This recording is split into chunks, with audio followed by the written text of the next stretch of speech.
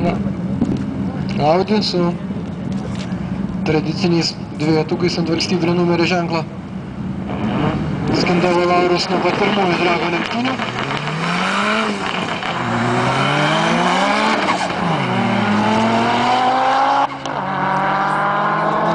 Atrodo, kad Pramiegojo startą, nebuvo pasiruošęs, sukėlęs pakankamų sunkių, bet rezultatas turėtų 12 sekundžių lygiai.